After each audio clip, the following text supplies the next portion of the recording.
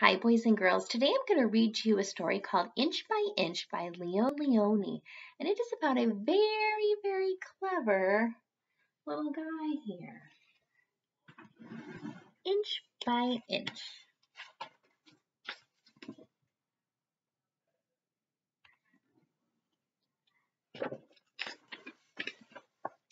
One day, a hungry robin saw an inchworm, green as an emerald, a twig. He was about to gobble him up. There he is. Don't eat me. I am an inchworm. I am useful. I measure things. Is that so? said the robin. Then measure my tail. That's easy, said the inchworm. One, two, three, four, five inches.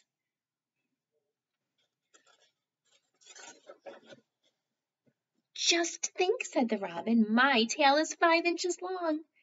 And with the inchworm he flew to where other birds needed to be measured.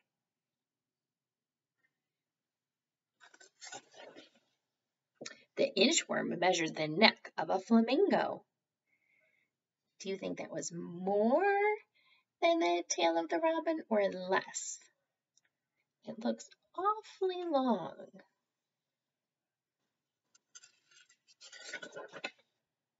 He measured the toucan's beak. Beak is right here.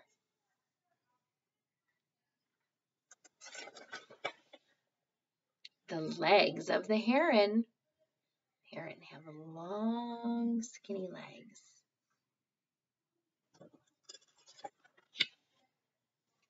The tail of a pheasant. This whole thing is the pheasant's tail. The pheasant is actually hiding in the grass over here.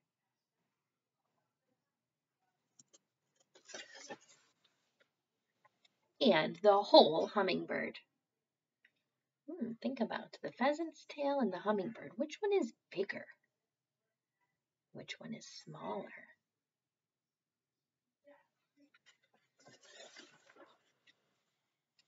One morning the nightingale met the inchworm. Measure my song, said the nightingale. But how can I do that, said the inchworm. I measure things, not songs. Measure my song, or I'll eat you for breakfast, said the nightingale. Then the inchworm had an idea. Go ahead, he said. I'll try. Go ahead and sing.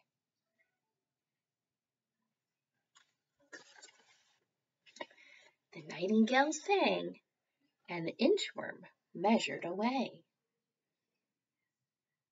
Hmm, what is it that he's actually measuring? He measured and measured. Here he is. Got down. Now he's going along the ground. That bird is still singing. Inch by inch. There he is, moving right along on the ground. Until he inched out of sight. And that's the end of the story.